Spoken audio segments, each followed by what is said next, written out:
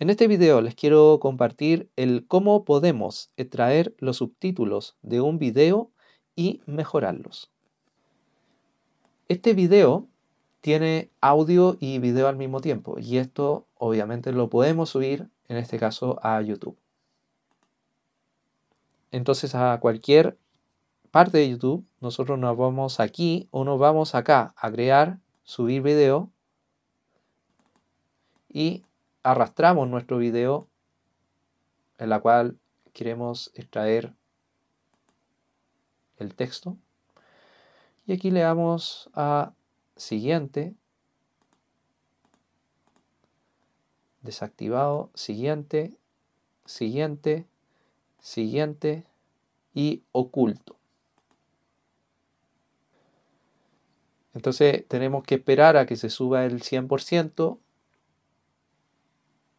Bien, aquí se subió al 100%. Le damos a cerrar. Si tenemos varios videos, nosotros nos vamos a la sección de videos, filtrar por visibilidad y seleccionamos oculto.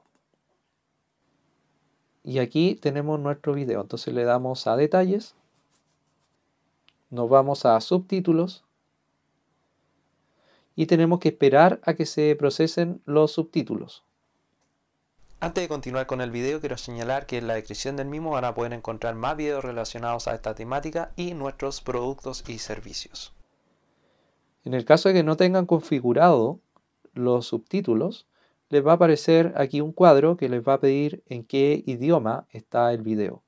Y uno obviamente selecciona el idioma en el cual se habla en el video. Aquí me dice que ya están publicados los, los subtítulos, en este caso automáticos. Entonces le damos a duplicar y editar. La desventaja de estos subtítulos es que no están del todo precisos o no están bien redactados. Entonces, lo que vamos a hacer ahora es mejorarlos con el uso de la inteligencia artificial. Y para eso tengo un prompt que he utilizado que me ha funcionado bastante bien para todos los videos que he estado realizando en la actualidad. Tanto para el canal de YouTube de Planeta Agronómico que tengo como para este que es de consejos y tutoriales. Entonces lo que hacemos es seleccionar todo esto, control A y control C. Vamos a abrir un blog de notas porque en este blog de notas pegamos los subtítulos. Si en este blog de notas, pegando los subtítulos, vemos que todavía quedan espacios en blanco, quiere decir que nosotros podemos utilizar estos subtítulos de una en, en la inteligencia artificial. Pero imagínense en el caso de que tengamos grabaciones que pueden ser de 30 minutos, una hora, dos horas, vamos a tener un audio interminable. Entonces ahí lo que yo recomiendo la inteligencia artificial no va a funcionar así. Entonces uno tiene que buscar palabras clave, como por ejemplo aquí entonces, que nos puedan separar los párrafos. Y después nosotros los vamos uniendo. Esto es para el caso de audios que son bastante largos. O uno va leyendo y va viendo cómo irlos separando. Y traducirlos párrafo por párrafo. Eso es para el caso de audio grande, pero en este caso es un audio pequeño, por lo tanto, aquí yo voy a seleccionar esto y voy a nuevamente a colocar el formato original. Entonces, yo tengo un prompt que utilizo que es el siguiente. Mejora el siguiente texto con subtítulos extraídos de videos de YouTube sobre, en este caso es de la sobre agricultura y materia orgánica, por ejemplo.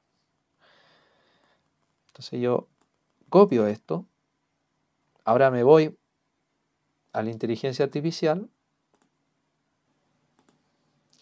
que en este caso esta inteligencia artificial vendría a ser ChatGPT, que a mí me gusta más ChatGPT más que eh, otra inteligencia artificial, entonces le voy a colocar esto. Y ahora voy a colocar el,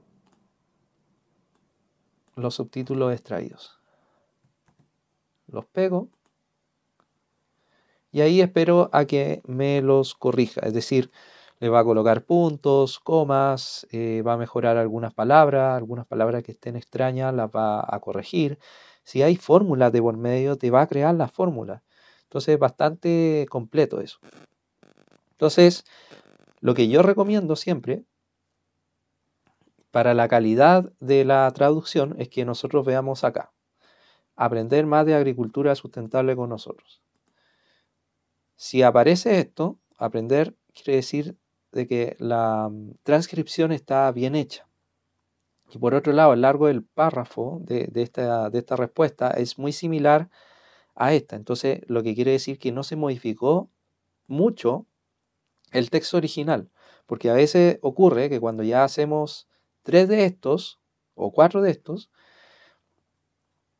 a veces cambia. Cambia el texto original y coloca otras cosas. Entonces hay que tener mucho ojo con eso.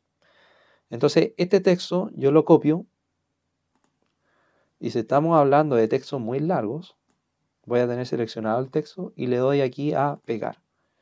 Y ahí tenemos ya nuestra mejora de nuestro subtítulo bastante bien. No son perfectos, pero al menos eh, nos va a servir para poder tener una mejor presentación. Y esto lo copiamos nos vamos a nuestro video original, botón derecho, pegar, publicar. Entonces si nos vamos a nuestro video,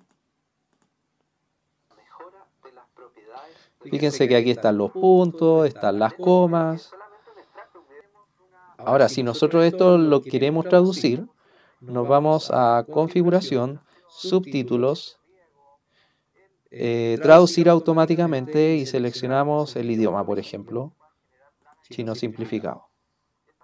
Y así es como nosotros podemos traducir también esto de, forma automática. Entonces se puede traducir con una bastante buena precisión sin ningún tipo de problema. Esa es una forma de traducirla, por ejemplo. Hay otra forma en que nosotros podemos hacer esto y es la siguiente en nuestro texto original, que estaría aquí, le damos a editar como texto, control A, control C, y a la misma inteligencia artificial le vamos a pedir, pegamos este texto, tradúcelo a inglés.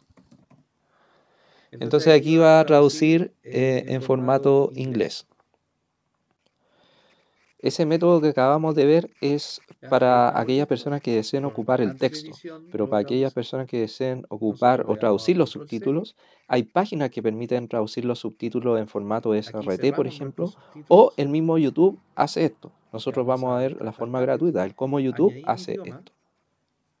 Aquí cerramos nuestros subtítulos, le vamos a descartar cambios, añadir idioma, le damos a añadir idioma, buscamos inglés, le damos a añadir, aquí le damos a añadir, seleccionamos traducir automáticamente, le damos a publicar.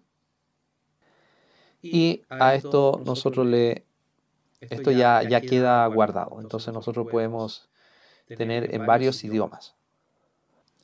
Entonces, ¿cómo podemos descargar esto? Si vamos a descargar el español, por ejemplo, vamos a darle aquí, descargar, y aparecen los diferentes formatos. Normalmente el que más se ocupa es el punto SRT. Entonces aquí yo lo voy a descargar en mi escritorio. En el caso del inglés es lo mismo. Descargar, SRT, guardar.